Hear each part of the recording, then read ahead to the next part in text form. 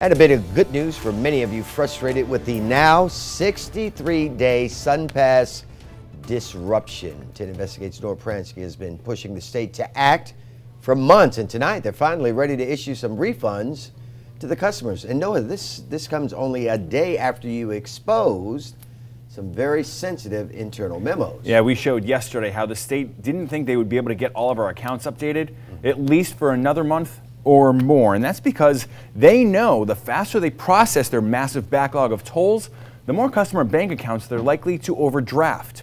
Today, when we took these problems to the governor for a third time now, we finally got some results. Governor Scott tells me FDOT would reimburse customers who get hit with bank fees because of unpredictable SunPass charges.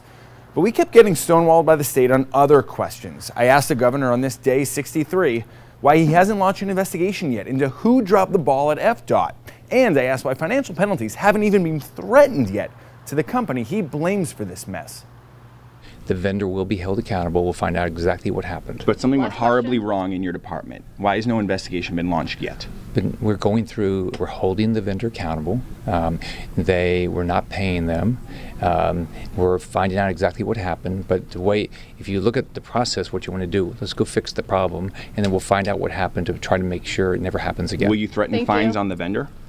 We're gonna, I mean, I'm going to do everything I can to make sure I hold them accountable. There have been no fines or penalties assessed.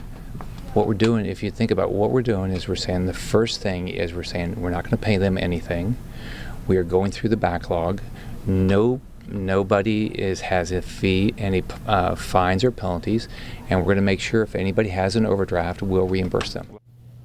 The governor blames the contractor, but it's a contractor his Department of Transportation chose to hire for a $343 million job, despite their track record of tolling screw ups in a half dozen other states. Now, you've done a lot of reporting about this company, Conduent, and they've got some very strong political ties. We have shown how Conduent has hired one of the top lobbyists in the state, a man who's very close to Governor Scott, mm-hmm. one of his top fundraisers for his Senate campaign. We've also shown how the founder of Conduent, a billionaire in Texas, mm-hmm. helped throw a fundraiser for Governor Scott last week. I asked, the, I'm sorry, last month. I mm-hmm. asked the governor about that today. He says he's an independently wealthy guy, and he goes to great lengths to ensure that there are no conflicts of interests. We have posted that entire exchange on our website. All right, thank you, Noah.